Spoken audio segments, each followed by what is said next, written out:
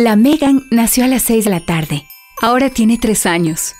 Fue el 30 de septiembre del 2010 cuando vi por primera vez que alzó sus manitos como queriendo tocar el cielo, como diciendo que nació triunfadora.